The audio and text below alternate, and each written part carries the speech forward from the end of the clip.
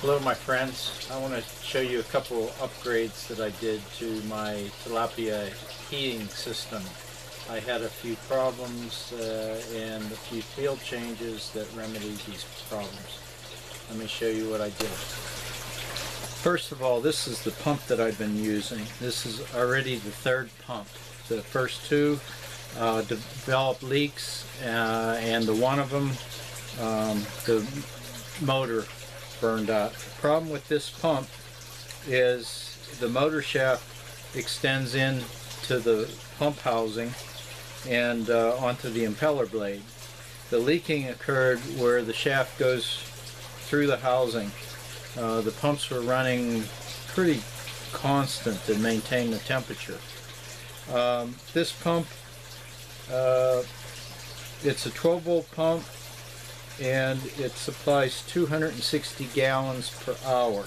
It also is a 300 watt pump. This is larger than the first two that I bought.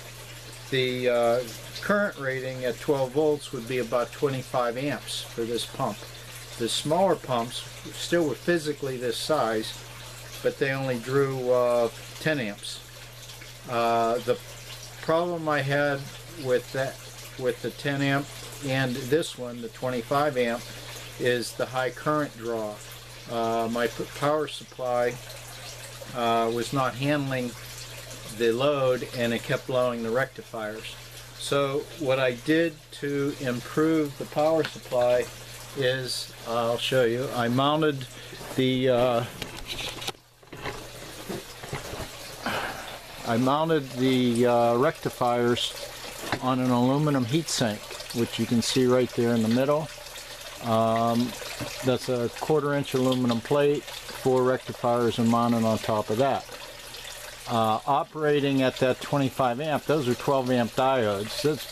Uh, with the heat sink, it was pushing the limit. They were going to eventually go out. And uh, so to eliminate that problem, I decided on a smaller pump that was not going to leak. Okay, right here I can show you the pump. Uh, this is the pump right here. This is also a 12 volt pump. Uh, size wise, uh, comparing to the other pump, right here, quite a bit of difference. Right there. Uh, this smaller pump also is a 12 volt pump. Camera's on my tripod. 12 volt pump. Um, it uh, draws 700 milliamp.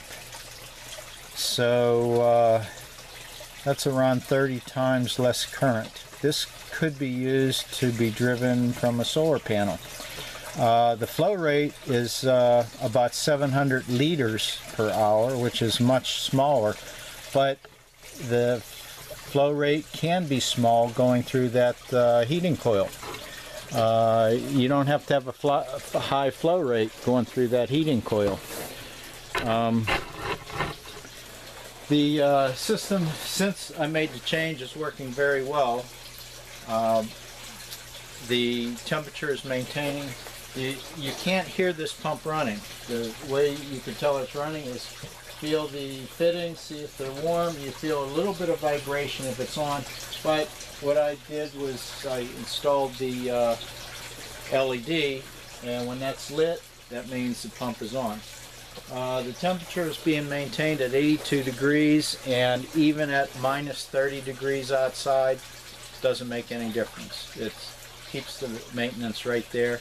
And like right now it's not running.